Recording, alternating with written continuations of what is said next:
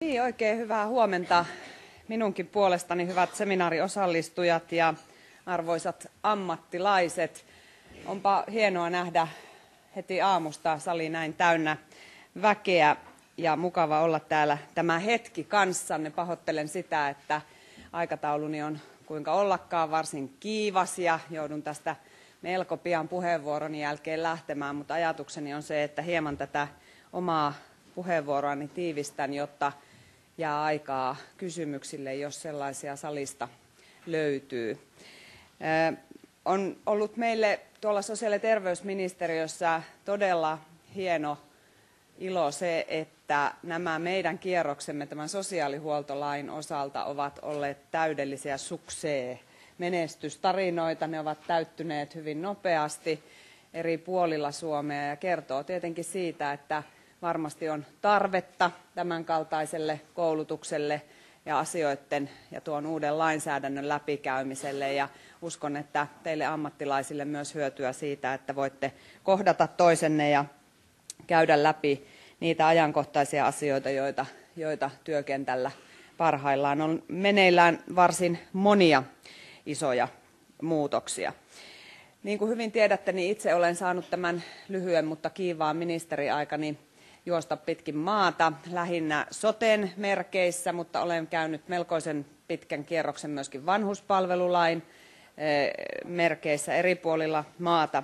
Ja eh, oikeastaan tuon soten osalta voi sanoa, että se viesti, joka hyvin usein niillä kierroksilla on tullut minulle, niin on ollut sen kaltainen, että tämä sosiaali- ja terveydenhuollon palvelurakenneuudistuksesta keskusteleminen on ollut kovin terveydenhuoltopainotteista.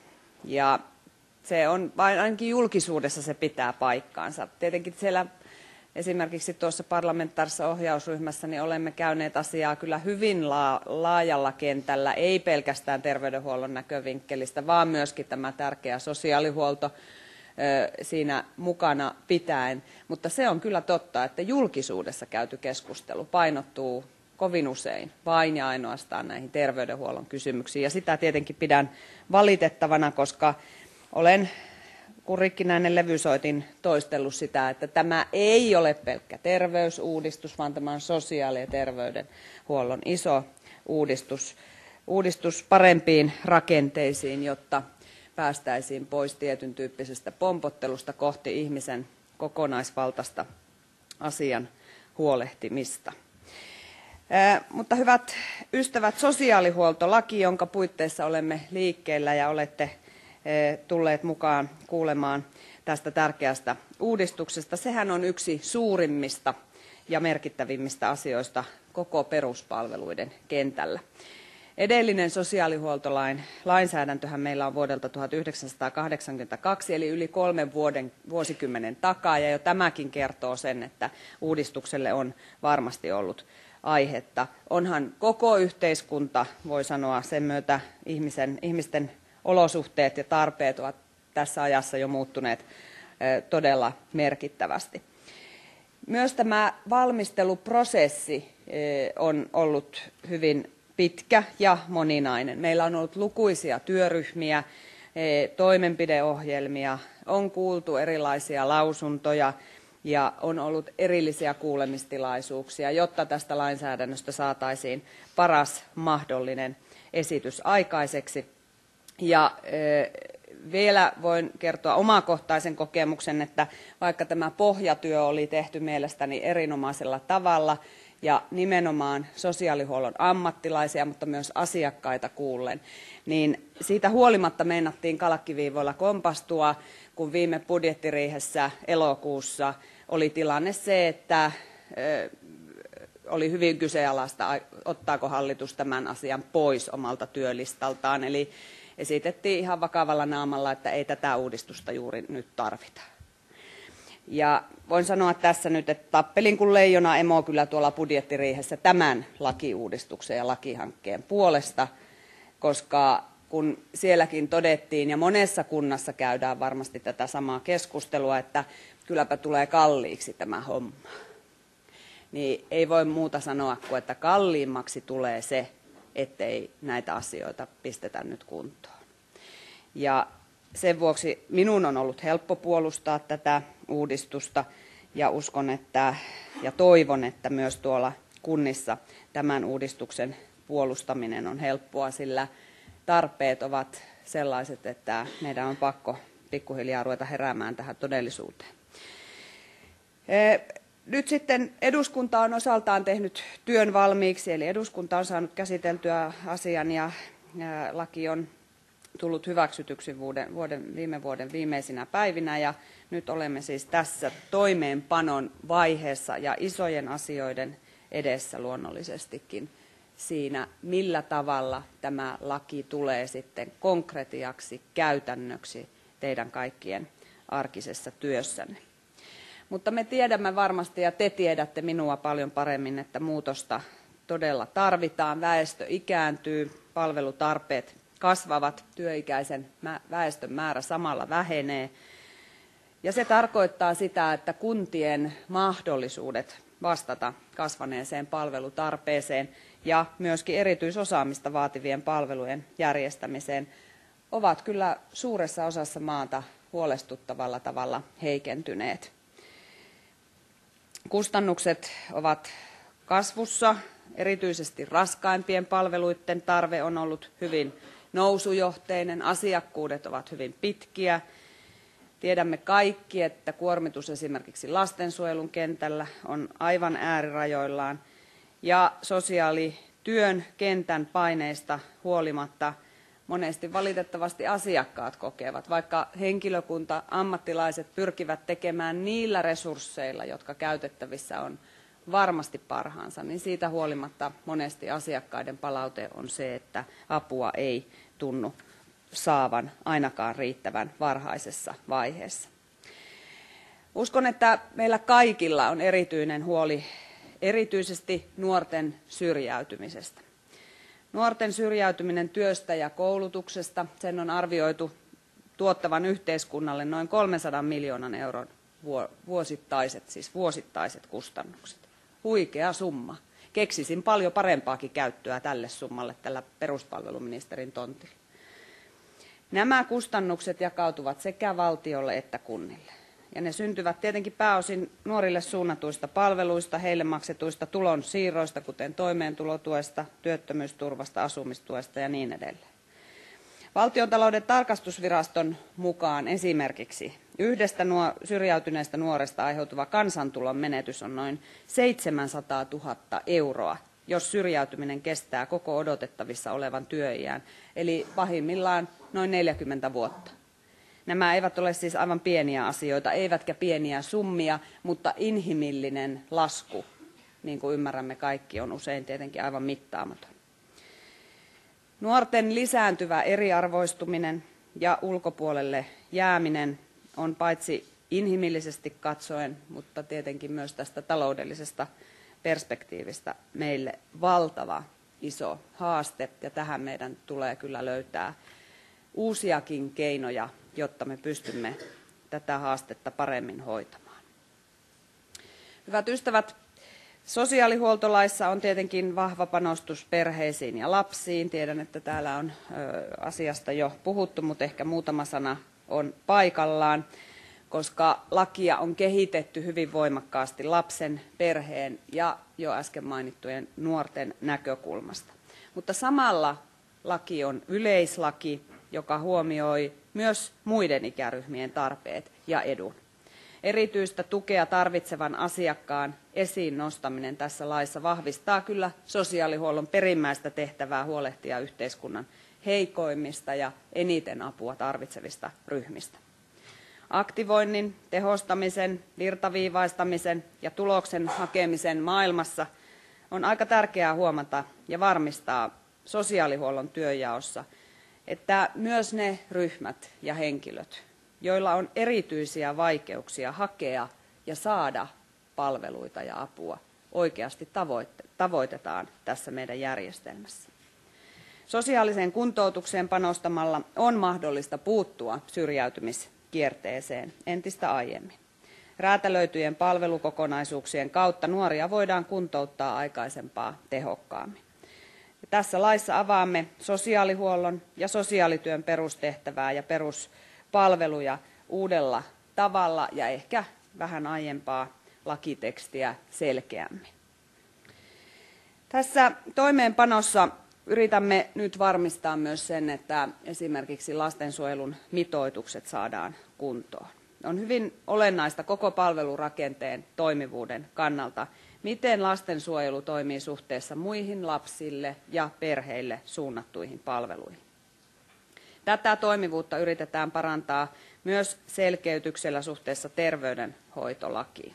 Laissa säädetään, että lapselle ja hänen perheelleen on järjestettävä viipymättä eh, ne palvelut, eh, jotka ovat terveyden, lapsen terveyden ja kehityksen kannalta välttämättömiä, jos lastensuojelun tarve johtuu riittämättömistä terveydenhuollon palveluista.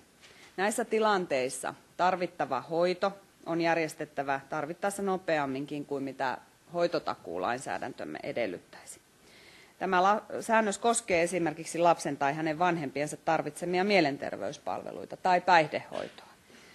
Laki tulee näiltä osin voimaan ensimmäinen neljättä, ja säännös kyllä selkeyttää lastensuojelun kenttääkin paljon puhuttanutta työ- ja vastuujakoa lastensuojelun ja esimerkiksi psykiatrisen hoidon välillä. Sekä tämä sosiaalihuoltolain uudistus, käynnissä olevat lukuisat muut lainsäädäntöhankkeet, tänään erittäin keskeisesti ratkaisun vaiheessa oleva sosiaali- ja terveydenhuollon järjestämislaki, eli tuo sote-uudistus, nämä kaikki ovat oikeastaan samaa, yhtä ja samaa isompaa kokonaisuutta, jolla on merkittävät yhteiset tavoitteet. Ja ne tavoitteet liittyvät ehkäisevien palvelujen vahvistamiseen, josta tarpeesta olemme puhuneet ainakin niin kauan kuin itse olen ollut politiikassa mukana. Nyt ei siis pelkästään puhuta, vaan yritetään tehdä sellaisia rakenteita, joissa tämä ennaltaehkäisyn ensisijaisuus ja varhainen tuki matalalla kynnyksellä myös ihmisille oikeasti toteutuu. Ja tässä näillä kierroksilla, joita soten osalta olen saanut tehdä ympäri Suomea, niin hyvin usein kuntapäättäjien kysymys on se, että mistä sitä lisää rahaa tähän soteen saadaan, kun väestö ikääntyy ja palvelutarpeet on niin kuin ylöspäin aika kivalla käyrällä. Niin kyllähän se vastaus on se, että eikö meidän ensin pidä uskaltaa kysyä itseltämme se aika vaikea kysymys, että käytämmekö me nykyiset resurssit järkevästi. Ja mielestäni emme käytä. Jos katsotaan sitä, mihin tässä meidän järjestelmässämme resursseja uppoaa, niin aika paljon uppoaa nimenomaan terveydenhuollon puolella esimerkiksi erikoissairaanhoitoa. Kunnat tuskittelevat sen kanssa, että lasku vaan kasvaa ja lasku lopsahtaa ja se on maksettava ja sille ei oikein mitään voi. Ja kun me sitten katsomme sitä, että mistä tämä lasku tulee, sitä voi ottaa vaikka esimerkin päivystyksen aulassa istuneena pari viikkoa sitten kolme tuntia omassa kotikaupungissa. Ja kun kuka tahansa menee mihin tahansa päivystyspoliklinikkaan, missä tahansa Suomessa, niin voi nähdä, että ovesta tulee monenlaista. Ei tule pelkkää kintunmurtumaa, ei tule pelkkää tapaturmaa, onnettomuutta tai lentsua. Tulee aika paljon osattomuutta, yksinäisyyttä, päihteitä, perheväkivaltaa. Ja silloin kysymyksen pitäisi minun mielestäni kuulua, että onko erikoissairaanhoito oikea paikka näiden asioiden hoitamiseen? Eikä se ole. Kyllä tämän tyyppiset asiat pitäisi saada kiinni paljon varhaisemmassa vaiheessa. Se on tietenkin selvää, että silloin kun ihmisellä on hätää, niin se paikka on hyvin usein se päivystyspoliklinikka. Sieltä katsotaan, että sieltä sitä apua pystytään saamaan. Mutta kyllä meidän pitää uskaltaa katsoa tätä meidän järjestelmää sillä tavalla, että siihen tulee saada aikaisempia puuttumisen keinoja ja mahdollisuuksia siihen, että ihmisten asia otetaan, joku ottaa kopin siitä. Aivan liian paljon Huovisen sähköpostissa edelleenkin kansalaiset kertoo kokemuksia siitä, että yritin pyytää apua, menin sinne, sanottiin, ei kuulu tänne luukulle. Ei kuulu meille. Tästä asenteesta, hyvät ystävät, meidän on päästävä eroon. Kuuluu meidän kaikkien luukulle syrjäytynyt lapsi, kaltoin kohdeltu lapsi. Kaikkien luukulle kuuluu. Sen vuoksi, että inhimillisesti on oikein ottaa koppi silloin, kun sellaisen näkee tilanteen, josta pitää ottaa koppi. Mutta kyllä meidän, emme me voi ummistaa silmiämme näiltä kansantalouden realiteeteilta. Ja minä väitän, että jos emme me nyt uskalla tehdä sote-uudistusta ja muita uudistuksia, jotka vievät tätä matalan kynnyksen puuttumista, ennaltaehkäisevää työtä, moniammatillista osaamista eteenpäin tässä yhteiskunnassa. Jos emme me nyt uskalla, nyt on niin kuin aivan viimeinen hetki, niin meiltä loppuu, kuulkaa, rahat ja meiltä loppuu ihmiset. En tiedä, kummat loppuu ensin. Mutta ei ole varaa siihen, että jatkuvasti siirretään esimerkiksi lasten ja perheiden asiaa lastensuojelun syliin. Se ei ole oikein. Se ei, se ei kuulu sinne, se, että per, perheessä ei nukuta. Tai on muita ongelmia. Se ei ole ensisijaisesti lastensuojelun asia, vaan siihen pitää löytyä apuja jo paljon varhaisemmin, kun siitä tulee lastensuojeluasia. Toivottavasti ei tulekaan, jos ammattilaiset pääsevät riittävän varhaisessa vaiheessa auttamaan. Ja kun minulta kysytään, että mistä sinä nyt rahat tähän sitten otat, niin mä kyllä väitän, että se, että me saisimme tämän ennaltaehkäisyn kuntoon, niin se voisi säästää merkittävällä tavalla sitä meidän korjaavan puolen resurssia.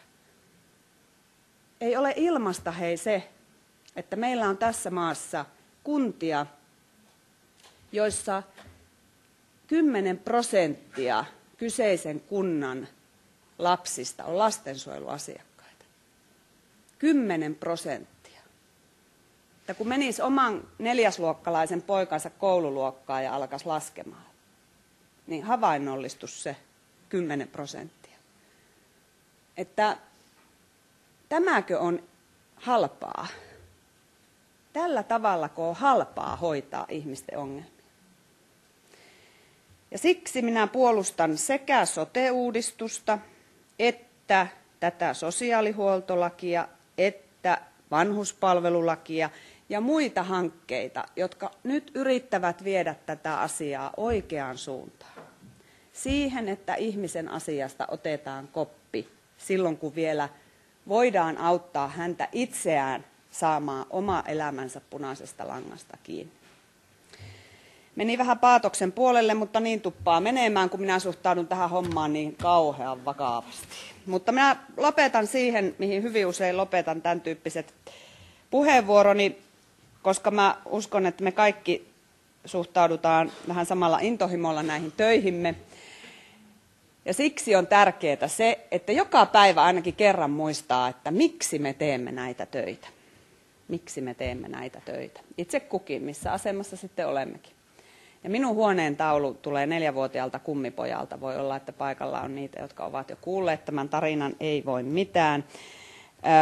Hän, häneltä kysyttiin, kun minusta tuli peruspalveluministeri, että tiedätkö, että mitä se ministeri, mitä se semmoinen ministeri oikein tekee? Hän on vähän semmoinen filosofinen poika ja hän sitten hetken mietti ja sitten hän vastasi juhlallisesti, että ministeri on henkilö, joka ohjaa eksyneitä aikuisia ja lapsia turvaan. Ja se oli minusta niin hyvin sanottu. Vähän rupesi kyllä hirvittämään siinä kohtaa, että pitääkö minun tuokin nyt hoitaa. Mutta, mutta se oli hyvin sanottu ja se, mä, mä ajattelen niin, että jos joka päivä sen muistaa, että miksi näissä töissä ollaan, niin ei voi kauhean paljon metsään mennä. Että toivotan teille hyvää seminaaripäivää ja jaksamista teidän tärkeässä työssänne, jossa tekin pelastatte ja ohjaatte turvaan eksyneitä aikuisia ja lapsia. Paljon kiitoksia.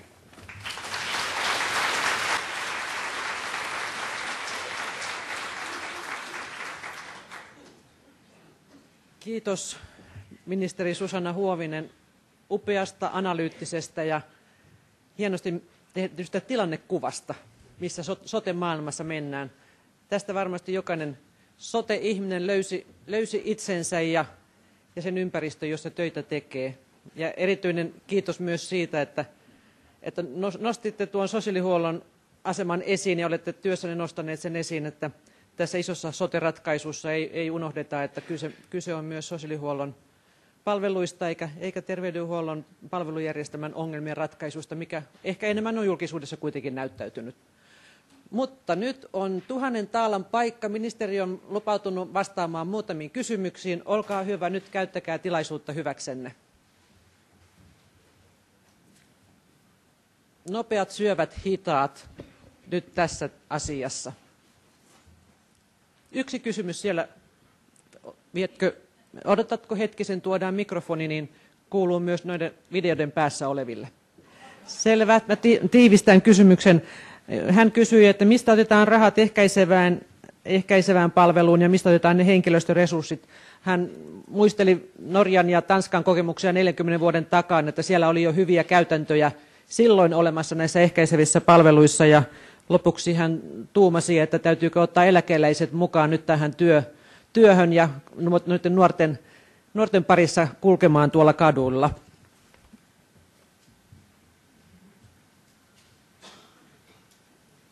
Kiitos hyvästä kysymyksestä. Tämä on, on se keskeinen kysymys, jonka kuntapäättäjät ainakin aina esittävät, että kun tiedämme, että ne korjaavat toimenpiteetkin, jotka meillä parhaillaan on käynnissä, nekin pitää tietenkin hoitaa. Ja on ihan selvää, että se satsaus, joka tehdään sinne ennaltaehkäisyyn, niin se varmasti osittain hetkellisesti varmuudella nostaa niitä kustannuksia. Mutta jostakinhan tämä homma on aina niin kuin aloitettava. Että jos vaan ajatellaan, että hoidetaan vaan se korjaava puoli, niin se laskuhan tulee vaan niin kuin koko ajan suurenemaan. Ja sen takia se järki on siinä, että koitettaisiin löytää sitä resurssia myöskin siihen ennaltaehkäisyyn, koska se aika lyhyelläkin aikavälillä voi sitten pienentää sitä korjaavan työn laskua. Ja sitten kun minulle sanotaan, että ei tuo ole mahdollista, että ei tuommoista voi tehdä, niin kyllä mä täälläkin uskallan sanoa sen, että meillä on kuitenkin Imatran malli esimerkiksi lastensuojelussa, jossa on pystytty varsin lyhyellä aikavälillä ja ei nyt millään ihan mahdottomilla panostuksilla, että ei ole kuntatalous ihan kaatunut niihin perhetyöntekijöiden palkkaamisiin, niin tuota, muuttamaan suuntaa sillä tavalla, että huostaanottoja on voitu esimerkiksi vähentää. Ja sen takia niin minusta se, että sanotaan, että ei tähän ole mahdollisuuksia, niin sitten pitää samaaikaisesti hyväksyä se, että se korjaavien toimien lasku tulee vaan niin kuin kasvamaan jatkossa. Ja se on inhimillisestikin kestämätön tie. Se on taloudellisesti, mutta se on inhimillisesti kestämätön tie. Tämä on hyvä kysymys se, että miksi, miksi me ollaan niin kuin nyt vasta tavallaan, kun monissa muissa maissa on, on järjestelmät jo rakennettu tähän malliin aikaisemmassa vaiheessa, että miksi me ollaan nyt vasta liikkeellä. Ja kyllä mä sanoisin, että tämä meidän pirstaleinen järjestelmä ja rakenne on syynä siihen. Mehän tiedetään, että, ja itsekin koitan monessa yhteydessä sanoa sitä, että ei pidä antaa myöskään meidän kunnista tai kuntayhtymistä sellaista kuvaa, että missään ei olisi tehty tällaista kehittämistyötä. Kun mä tiedän, että monessa kunnassa on jo tehty ja on jo lähetty liikkeelle tämän tyyppisiin ideoihin. Mutta se ongelma on se, että jos meidän sosiaali- ja terveydenhuollon palveluista tänä päivänä tässä valtakunnassa 5,4 miljoonalle ihmiselle vastaa noin 200 organisaatiota, 200 niin kuin toimijaa, niin voi hyvällä syyllä kysyä, että kuka tätä konetta ohjaa. Vastaus on, että ei oikein kuulkaa kukaan. Tästä on poistettu menneinä vuosina kansallinen ohjaus, joka oli niin kuin varsin vahvaa vielä 80-luvullakin, mutta nyt sitten ollaan tavallaan luotettu siihen, että kunnissa osataan tehdä ihmistä lähellä tavallaan niitä ratkaisuja, jotka on parhaita. Ja se ei välttämättä olekaan sitten tuonut sitä tulosta, jota on lähdetty tavoittelemaan. Ja kyllä mä väitän, että myös sen uusimman tiedon ja parhaiten kokemusten käyttöön saaminen on semmoisessa järjestelmässä tosi hankalaa, jossa on 200 tahoa, jotka vastaa siitä. Ja sen vuoksihan me yritetään nyt tätä tavallaan järjestämisen vastuuta sitten koota vähän laajempiin kokonaisuuksiin, jotta tämä tieto ja osaaminen, hyvät käytännöt vois voisi paremmin kulkea tässä meidän järjestelmässä kuin nykyisin. Siinä oli vielä kysymys ja sitten mä joudun...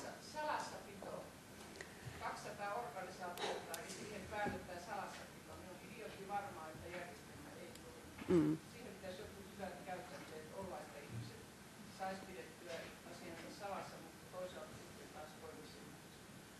Joo, ja tämä on varmaan asia, jossa, jossa tota, meidän asiantuntijat ministeriöstä osaa paremmin sanoa.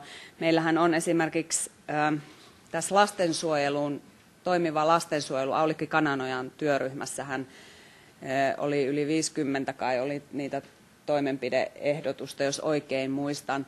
Ja yksi niistä on johtanut jo toimenpiteisiin, moni muukin, mutta, mutta tähän liittyen erityisesti se, että että THL on nyt suunnittelemassa ja toteuttamassa sitten opasta ja koulutuskierrosta lasten kanssa työtä, työtä tekeville juuri siitä syystä, että pystyttäisiin käymään esimerkiksi näitä, näitä tota, tietojen vaihtoja, joka nyt on ollut julkisuudessa näiden traagistenkin tapahtumien johdosta niin paljon esillä.